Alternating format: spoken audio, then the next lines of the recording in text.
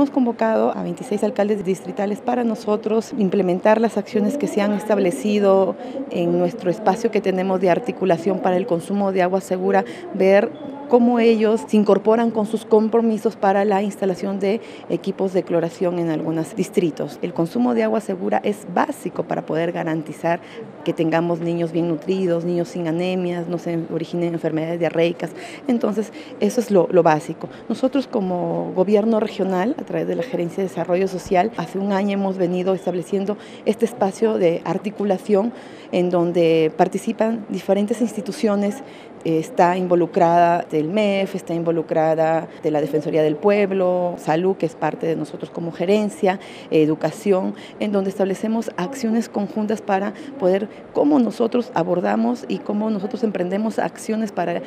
poder garantizar el consumo de agua segura en la población. Queremos el compromiso de estos 26 alcaldes distritales eh, o algunos este, representantes también de las JAS para nosotros ver cómo emprendemos acciones de poder implementar equipos de cloración, porque normalmente a través de la Dirección de Vivienda, en el marco de sus funciones, se realiza asistencia técnica, eso se realiza siempre a las JAS, a las ATEMES. Nosotros no solamente estamos haciendo este tipo de reuniones para ver la posibilidad de instalación de equipos, sino también estamos haciendo operativos preventivos conjuntos con la Defensoría del Pueblo. Queremos llegar